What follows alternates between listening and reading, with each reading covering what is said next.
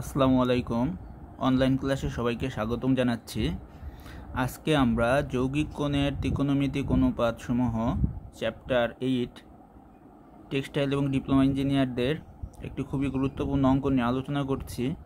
আসন্ন পরীক্ষায় এই অঙ্কটি খুবই গুরুত্বপূর্ণ, পরীক্ষায় আসতে পারে। আমরা প্রশ্নটি দেখতে পাচ্ছি, এখানে দেওয়া আছে, যদি A plus B equal pi by four হয় তবে দেখাও যে one plus ten A into one plus ten B equal two.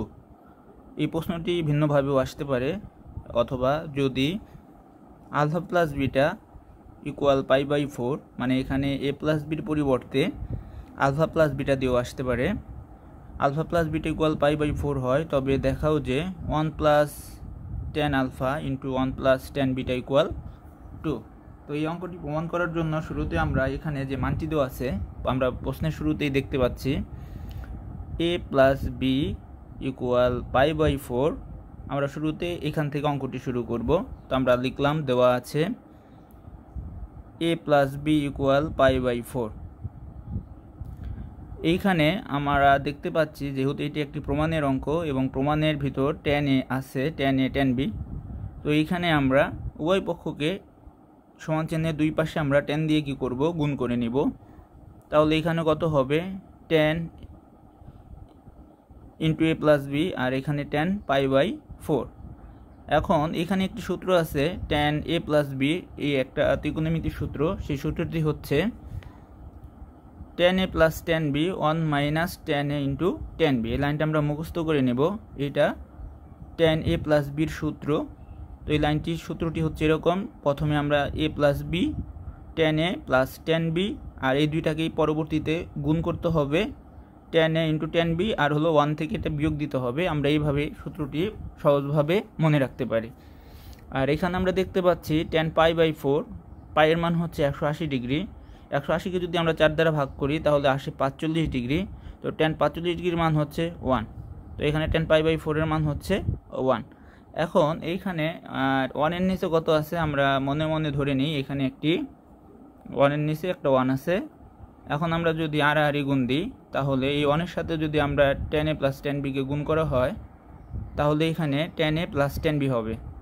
এই সম্পূর্ণ অংশটাকে আমরা এই ওয়ানের সাথে গুণ করছি। তাহলে এখানে কি হবে? Ten A plus ten B আর নিচে এইখানে যে ওয়ান আছে, এই one minus ten into ten বির সাথে যদি ওয়ানকে গুণ করা হয়, তাহলে হবে কত? One minus ten A into ten B. এরপর আমরা এখানে, আমরা দেখতে পাচ্ছি, এইখানে যে মাইনাস মানটি ছিল, সেটাকে যদি আমরা বাম পাশে নিয়ে আসি, তাহলে এই মানটি প্লাস হয়ে যাবে। তো এখানে আমরা লিখলাম টেন এ, এই মানটাই যে এখানে নিয়ে আসলাম, ten A into ten B minus ছিল, প্লাস হয়ে গেল। এই টেন বিটা আমরা এখানে লিখলাম, টেন বি, এইখানে অন রয়ে গেল।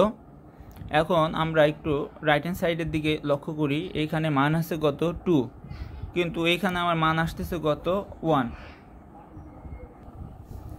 যেহেতু আমার রাইট হ্যান্ড সাইডে টু এখন ওয়ানকে আমার টু করার জন্য এই ওয়ানের পাশে একটা ওয়ান কী করতে হবে? যোগ করতে হবে। তো আমরা উভয় পক্ষকে এক দ্বারা যোগ করে নেব। তাহলে এইখানে আমরা এই সমীকরণে এই বাম পাশে এক যোগ করলাম আর ডান পাশে এক যোগ করলাম। কেন এক যোগ করলাম? আমরা রাইট হ্যান্ড সাইড মিল করার জন্য আমার টু দরকার, এই জন্য আমরা এখানে দুই পক্ষকে এক দ্বারা কি করে নিলাম, যোগ করে নিলাম। এখন এইখানে ওয়ান প্লাস টেনে এই টেন বিটা পাশে নিলাম, আর এটাকে আমরা একদম শেষে লিখলাম, একটু আমরা সাজিয়ে নিলাম কমন নেওয়ার জন্য। তো এখন আমরা এখান থেকে ওয়ান কমন নিলাম, তাহলে হয় কত? ওয়ান প্লাস টেনে এই দুটা থেকে আমরা কি কমন নিলাম? ওয়ান কমন নিলাম, হয় ওয়ান প্লাস টেনে আর এই দুটো থেকে আমরা টেন বিটা কমন নিলাম। তাহলে এখান থেকে যদি টেন বি কমন নেওয়া হয়, থাকে কত ওয়ান এখান থেকে টেন বি কমন নিলে থাকে কত? টেন এ আর এক আর এক যোগ করলে কত হয়? দুই হয়।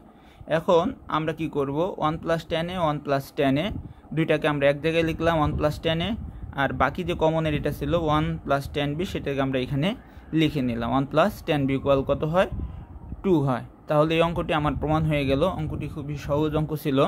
শুধু আমার একটা লাইন মুখস্থ করতে হবে, সেটি হচ্ছে টেন এ প্লাস বি এর সূত্রটা। এই সূত্রটা আমি আরেকবার বলি, সেটা হচ্ছে প্রথমে ten A plus ten B one minus ten A into ten B এটা যদি আমরা মুখস্থ রাখতে পারি, এই অঙ্কটি আমরা খুব সহজেই করতে পারব। আসন্ন বোর্ড পরীক্ষায় আমাদের সেমিস্টার ফাইনাল পরীক্ষা খুব সনিকটে। এই অঙ্কটি আসার জন্য খুবই গুরুত্বপূর্ণ। আশা করি এই অঙ্কটি করলে আমরা হয়তো বা পরীক্ষা কমন পেয়ে যেতে পারি। তো সবাইকে ভিডিওটি দেখার জন্য ধন্যবাদ।